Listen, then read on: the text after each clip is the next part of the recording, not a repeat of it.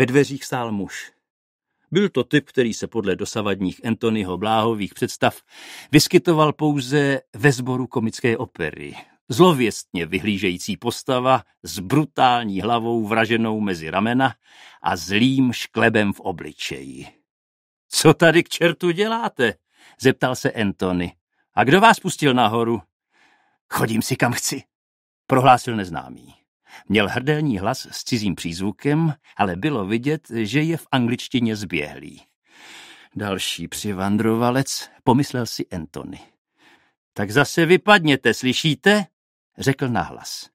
Muž upíral oči na balíček dopisů v Antonyho ruce. Odejdu, až mi dáte to, pro co jsem si přišel.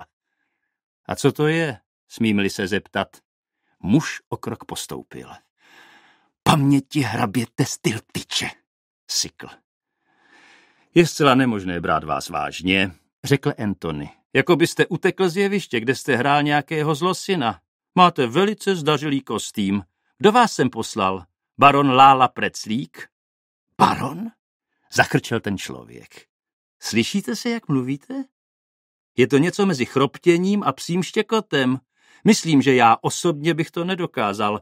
Nemám k tomu uspůsobené hrdlo. Budu mu raději dál říkat Lála Preclík. Takže vás poslal on? Dočkal se však rozhodně záporné odpovědi. Jeho návštěvník si v žádném případě nebral servítky. Pak vytáhl z kapsy list papíru, který hodil na stůl. Podívejte se, řekl. Podívejte se a třeste se, spropadený angličane. Anthony se s jistým zájmem podíval, ale neobtěžoval se s uposlechnutím druhého pokynu. Na papíře byla rudou tuškou hrubě obkreslena lidská ruka. To vypadá jako ruka, poznamenal. Ale pokud si budete stát na svém, jsem připravený uvěřit tomu, že jde o kubistické stvárnění západu slunce nad severním pólem. Je to znak soudruhů rudé ruky. Já jsem soudruh rudé ruky. Neříkejte. Podíval se na něj Anthony s ještě větším zájmem. Vypadají ti ostatní stejně jako vy? Nevím, co by na to řekla eugenická společnost. Muž hněvivě zavrčel. Vy pse! Zvolal. Jste horší než pes! Jste placený otrok upadající monarchie! Dejte mi ty paměti a vyváznete bez škrábnutí. Tak velkorysé je bratrstvo.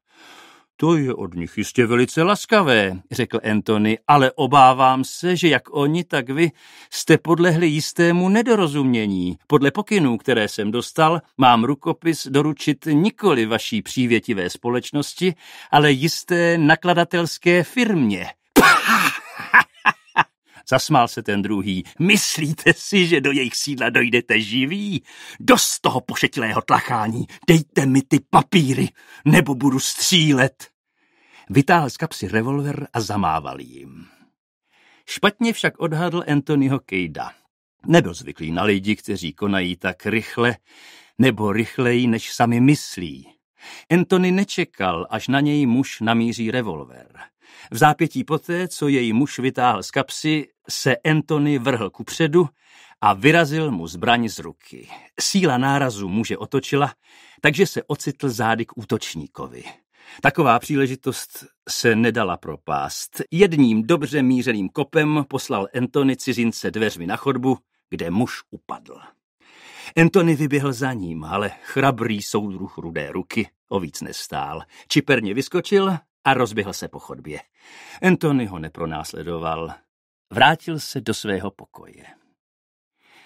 Tak, to bychom měli soudruhy rudé ruky, utrousil pitoreskní zjev, leč při přímé akci snadné pořízení. Jak se sem k čertu ten chlap dostal? Jasně z toho vyplývá jediné. Nepůjde to tak hladce, jak jsem si myslel. Už jsem narazil jak na loajalisty, tak na revolucionáře. Brzy zřejmě vyšlou své delegace nacionalisté a nezávislí liberálové. Jedno je jisté. Ten rukopis začnu číst ještě dnes večer.